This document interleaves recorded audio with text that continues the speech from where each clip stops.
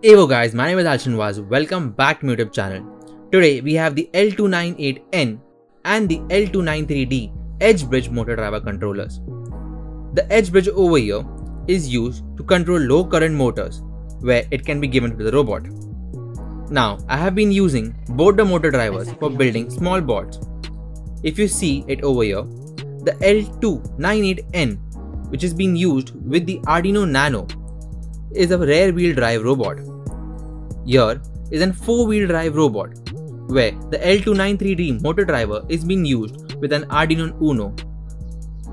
Now you can understand the difference of both the motor drivers with the looks and power on the wheels.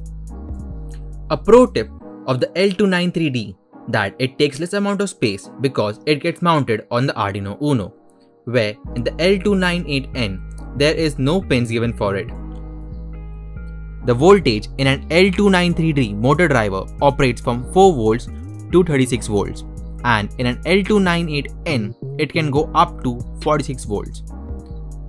You can see I have been using LiPo batteries in it and even lower the voltage is not an issue but the performance decreases.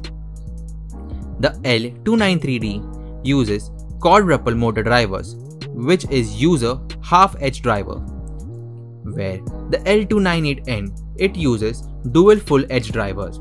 And if you want to build one of these robots using such motor drivers, there's a link up here and an added card.